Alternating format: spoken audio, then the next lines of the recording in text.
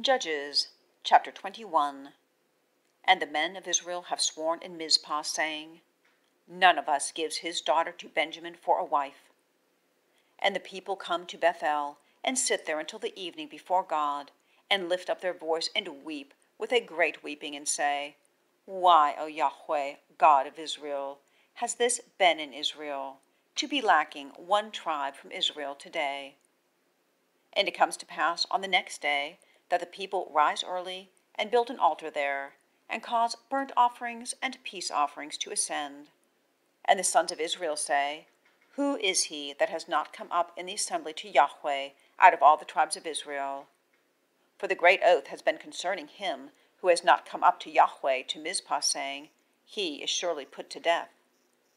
And the sons of Israel sigh concerning their brother Benjamin, and say, Today there has been one tribe cut off from Israel.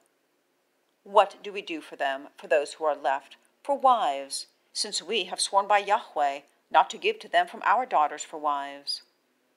And they say, Who is that one out of the tribes of Israel who has not come up to Yahweh to Mizpah?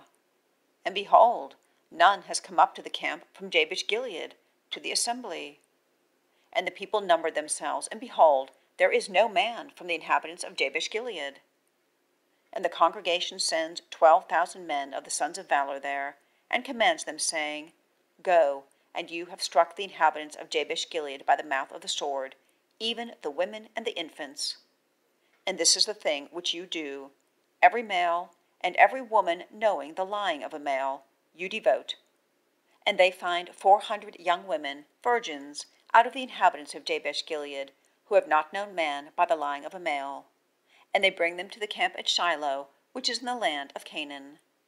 And all the congregation sends word and speaks to the sons of Benjamin who are in the rock of Rimmon, and proclaims peace to them. And Benjamin turns back at that time, and they give to them the women whom they have kept alive of the women of Jabesh Gilead, and they have not found for all of them so. And the people sighed concerning Benjamin, for Yahweh had made a breach among the tribes of Israel.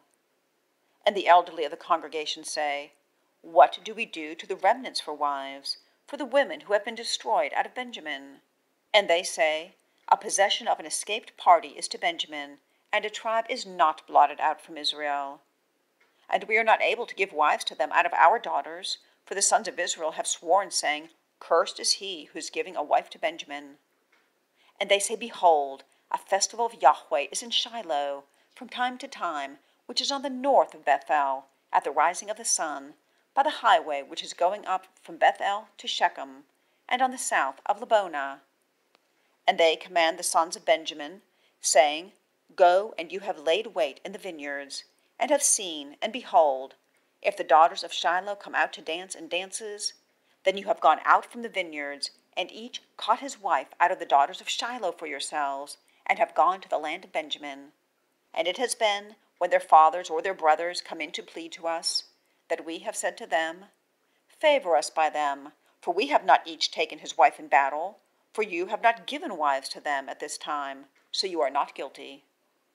And the sons of Benjamin do so, and take women according to their number, out of the dancers whom they have seized.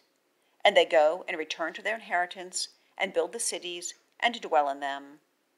And the sons of Israel go up and down there at that time, each to his tribe and to his family, and they each go out there to his inheritance. In those days there is no king in Israel. Each does that which is right in his own eyes.